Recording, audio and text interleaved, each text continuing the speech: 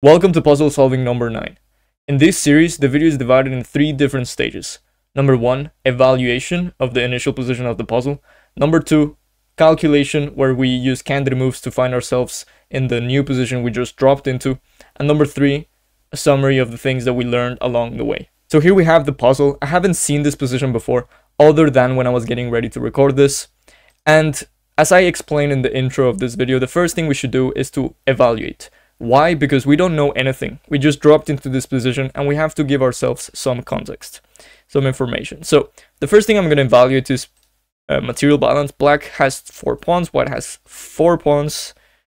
Uh, white has a knight and a bishop, black has a knight and a bishop, rook, rook. It seems like actually, for the first time in this series, we're going to have material balance equal, equality, which means that the position is going to be decided by another important factor, and usually, in my experience, what happens to be a high priority is king safety. And not only in my experience, it happens to be a high priority in most of chess positions. So in this case, if we look at the kings, one of them has pawns around it and bodyguards, and the other one has pieces.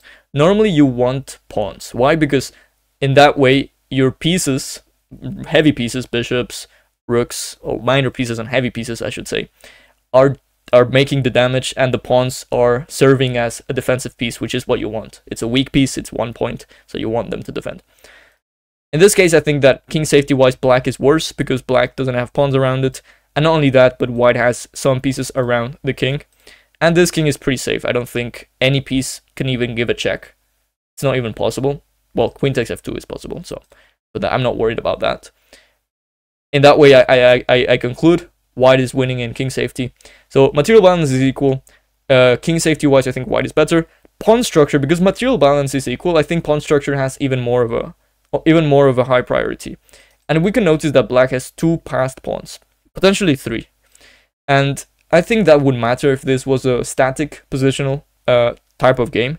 But because I already sense that this is kind of dynamic, there's so many, there's some uh, candidate moves like knight e7, rook e1, I think that's not going to be such a high priority. Okay, what else is there to evaluate? Or can we move on to calculation? I think motive-wise, before we start calculating in depth, I already can tell knight e7 is going to be a motive. Queen h8 is not out of the question. I have to always consider this move. I know that it's not working because of bishop takes h8, but for instance, if this bishop were to, to leave at some point, then queen h8 is going to be useful to have at the back of my mind. And this is what we call hypothetical thinking or, or fantasy thinking that we imagine this bishop gone and we know that queen h8 is going to be mate. That's something very useful to have in mind. Okay, so I think all of those things said, we can get going with candidate moves. We're in the second stage of this video. What I usually do is, and what you should do as well, is have a list of the moves that you find more attractive. In this case, I find attractive knight e7, sorry, knight e7 check, I find attractive rook c e1 to get out of this this attack and threaten knight e7 in that same way it's difficult to it's difficult to stop for black from black side sorry. And g4 because it, that threatens the queen. Other than that i consider queen h8 momentarily but after bishop takes h8 is out of the question. And i i i, I don't i don't see any other move. Maybe 95 maybe 94 but i don't i don't see any other move. So knight e7 check rook e1 and uh, sorry and g4 sorry all of those moves have something in common, and that is that it's threatening something. I didn't consider king h1. I didn't consider rook e1, rook d, fd1, rook cd1. I'm considering moves that are, well, in a way, threatening something. So rook c e1 does threaten knight e7 because it's it controls the e7 square more. Rook b1 I should have considered actually. But this is something that many people don't understand. When you're playing chess, you're not considering every single move you see. You're considering only the forcing types. knight e7 check, that's a check, it's forcing. G4, attacking the queen, that's forcing. So I'm going to start with knight e7, uh, G4, and then knight C, rook CE1, and then rook CB1, because I should have considered this before. Um, I'm going to start with knight e7, as I said. That is check, but I quickly realized that after rook takes e7, which is a very forcing move, I should look at that, because that's a forcing move from my opponent's side. I cannot take back with the bishop, so knight e7 check, rook takes e7. If I take bishop takes e7, I lose the queen. So already there, I'm, I'm, I'm rejecting knight e7. After rook takes e7, it doesn't seem like I have an, any any good response. If I attack the queen then, Queen f7 is threatening to exchange the queens. If I take that, uh, potentially queen takes h5 or queen takes e7, I think that I'm I'm not getting what I want. So already there knight e7 I'm gonna reject. I'm gonna play rook c1 now or g4. Which one's more forcing? Hmm. I have the bias that rook c1 is is kind of working because knight e7 is, seems to be difficult to stop. But just for for a little bit of curiosity, g4 attacking the queen. What happens after queen e4? Do I have any ideas? Then I can play rook c1. But then it's a little bit out of my control there. What about g4, knight, queen d3? Hmm. In that position, I don't seem to have any good response. So g4 I'm going to reject for the moment. I didn't calculate that in depth, and you don't need to, because what happens is that I'm going to look at other lines, and it's very likely I will get either a lot of information from those lines, or straight away solve the puzzle by just looking at other lines. So rook ce1 is my next move, and then rook cb1 if that doesn't work. So rook ce1, it, that that's threatening knight e7.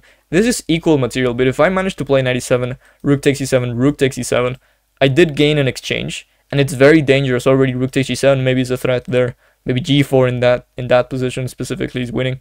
So rook c1, e7 is a big threat black has to address. How is black going to address that threat? That's a very good question. I think black has to find a way to move the queen and prevent that. So for example, queen d3. However, after knight e7, king f8, the king is still unsafe and I sense that there must be some way of forcing black to, to, to, to give up a little bit of material. Maybe bishop h6 because this bishop is defending the king. I'm considering some moves. But I think we're going towards the same, the right direction. Before I make the move, I'm gonna try rook cb1. Just to test what, what's going on. But I think after a knight d2, I can't take with the bishop because my queen is hanging. So rook cb1, knight d2. g4, queen d5 to keep the pin. Yeah, that's a little bit annoying. That's a little bit annoying. I mean, g4, knight f3 check as well, maybe. Okay, rook cb1, I'm not convinced. So I'm gonna try rook ce1. Happens to be the correct move. Black tries knight d2 with that same idea that if I take with the bishop, I lose the queen which I didn't I didn't see. I saw in another line, but it's not a surprise, but it's also a little bit of a of a move that I missed. Already there, I think that's going to be a lesson learned. But knight e7 check, let's calculate this. Rook takes e7, rook takes e7. Knight takes f1, that's the only way black can justify the lack of material. In fact, justifying it by equalizing it. Is there any way I can win material? And the only forcing move that I see in that position, let's visualize that once again. knight e7 check, that's a fork to the king and the queen, so black has to take. Rook takes e7, and if knight takes f1, if black doesn't take that, black is down material. Rook takes g7 check is the only forcing move I see so far. King takes g7, you're not gonna just let that happen. Bishop h6 check, and the only move for black to defend the queen is king f6. But do I have a way to force black to stop defending the queen? knight e7, sorry, knight e7, rook takes e7, rook takes e7, knight takes f1. Do I have a move there? I see. Maybe I can tuck in g4 in some move order. So for example, knight e7, rook takes e7, Rook takes e7, knight takes f1, g4. There are no checks. Black has to keep an eye on f7, for instance, if queen d3, queen f7, queen takes g7 is mate.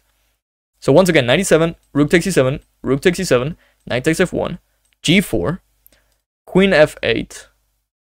If queen d5, already rook takes g7, king, king takes g7, bishop h6 is winning because the queen takes d5. The queen f8, and already then I think we are winning with queen g6. If rook e8, we just take. If black doesn't do anything and plays maybe knight d2, we play bishop h6, sorry, not... Well, actually, that's a good question. Hmm. I would play queen e6 check. Hmm. But either way, maybe we're not gaining material in the following two moves, but definitely there's some danger to the perpetual danger or chronic danger towards that king. So I'm going to go ahead and play knight e7. And after rook takes e7, knight takes f1, I'm planning to play g4. The only question I have remaining is, can I play g4 right away? Answer being probably not, because after knight f3 check, king h1 I have to play if king g2, knight takes e1 check. King h1, I think I'm, I think I'm losing there. Queen d5.